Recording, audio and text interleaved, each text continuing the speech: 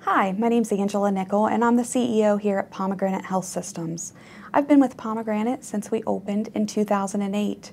During my career, I have worked at several other facilities, as well as Franklin County Children's Services as a caseworker working with children who were exposed to abuse and neglect. I think that insight has helped me understand here at the residential side what caseworkers and what families have experienced on the other side and what we are looking at and what we are hoping to achieve as we care for each and every patient. One of the things that we want to make sure that all the families and the guardians understand when they come to Pomegranate is that we want to treat your child like they are our own. We are also parents and we often look at if that was our child, what would we want to do for them?